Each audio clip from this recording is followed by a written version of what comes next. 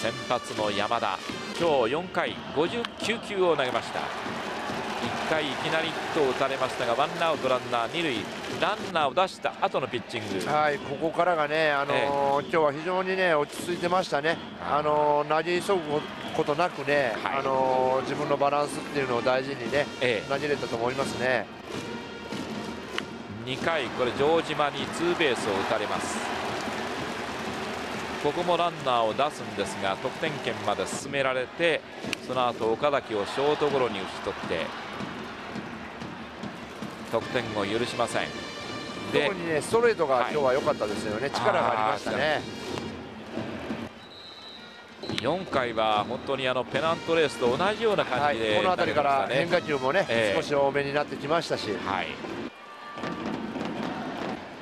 い、一方の阪神の安藤ですワンアウト二塁。カーを三振。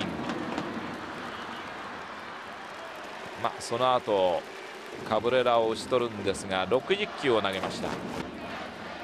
今日はね、ええ、本当に気持ちよくね、はい、自分のピッチングが、まあ、久しぶりなんですけどねあのできたと思いますよで立ち上がりよりも3回、4回の方が、はい、だんだんこう本当に安藤らしいピッチングでしたよね、まあ、落ち着いてね、えー、本当にねテンポよく、はい、気持ちよく楽しんでましたよね、ピッチングをね。というピッチングになりましたよね、はい、尻上がりに球速が上がっていきました。さあそして育成選手の千賀。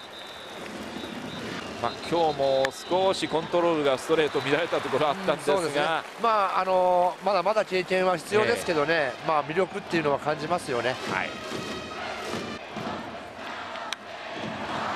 そしてご覧のような加山。ここでブラゼルが。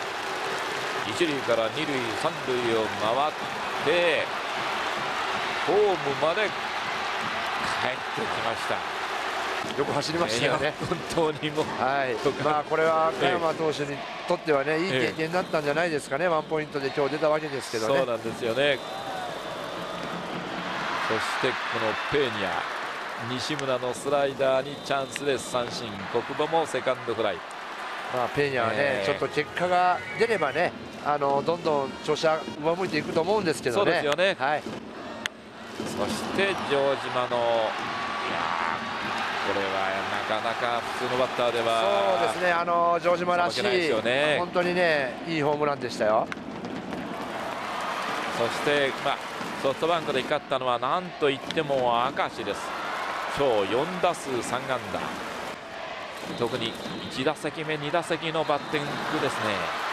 はい。あのー、本当にね自分でもうレギュラーの座をね、はい、掴み取るんだという、ええ、もうアピールはねもう本当に伝わってきますよね。